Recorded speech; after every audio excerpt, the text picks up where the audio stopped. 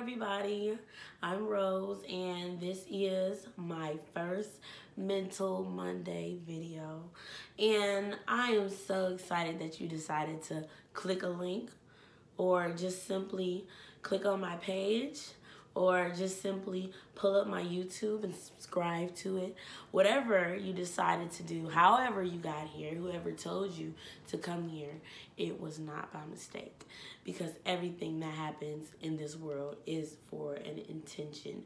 Whether you're learning from it, whether it was meant for you to see to never do again, or whether it was just what it was. The point is, you're here now, and let's embrace that. So what Mental Monday is, is Monday is the beginning of the start of a whole new week. Some of us work nine to fives. So Monday is the beginning of the week. I know Sunday really, you know, based on the calendar, it's Sunday, but we look at it like Monday. And because a lot of us get up in the morning, make that coffee, make breakfast, get the kids ready for school. Some of us get ready to go to school, get the gas in the car.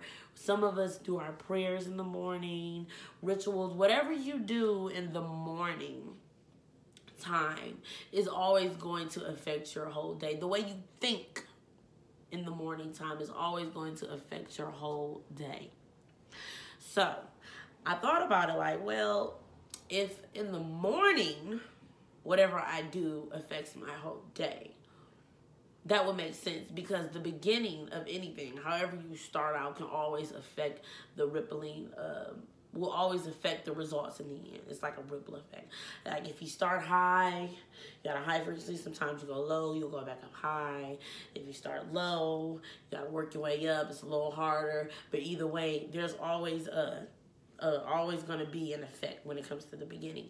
What if you start your Monday out on a good note, on a positive note? Mentally, you are strengthening yourself today. This Monday is for you to never, ever, ever take advantage of another Monday again. From now on, when you wake up on Monday morning, you're going to say a good prayer. You're going to prepare yourself for the rest of the week. You're going to tell yourself, I'm about to get through this. There is something that I have to go through. I'm going to learn from this. Whatever it is, take it for what it's given.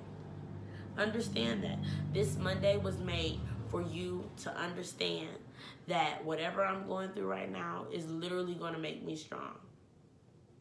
It's gonna make me strong. I woke up this morning with my girls. We had a great time last night. We kicked it. Like we didn't kick it, kick it because I'm not really that much of a kick it person, but we definitely had fun. And we woke up on a Monday morning and we're just like three different opinions. Somebody was saying, "Oh, I wish it's Saturday." Somebody was like, "I cannot believe so and so did not call me back last night." And then somebody said, "Something great is gonna happen this week." Is that how you wake up on Monday morning? Do you say something great is going to happen this week? Is that is that what you think? Is that your thought process on a Monday morning? Or is it oh, back to the same stupid job again? Oh, back to school where they drag my brain all around the concrete. Oh my gosh. Oh, I hate hearing that when I'm in the bathroom. I really don't because It's a sign of stress, anxiety. Something's getting to you too much. You shouldn't allow things to get to you like that. Especially at the beginning of a new, a new week when anything can happen. Anything is possible. And especially if you walk with God. If you're really in line with God and you really know that something great is about to happen and you believe that for yourself, you should have nothing really to worry about especially on a Monday. Yes, things are not always as you want them to be. No, things are not always perfect. But the way you look at it, if you understand the laws of attraction, then you know that your approach to anything, it can always control the outcome. How you think about it, mental, mentally. However you mentally view your situation is going to be what the situation is. If you're looking at it in the negative eye, it is going to be negative. If you're looking at it in a positive eye, it's going to be positive. It's going to have a positive outcome.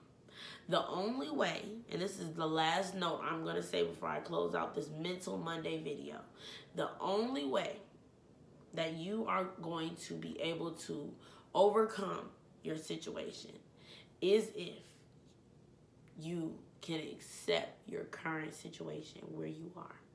That's the only way you're going to overcome it. You have to accept it. Accepting is so important.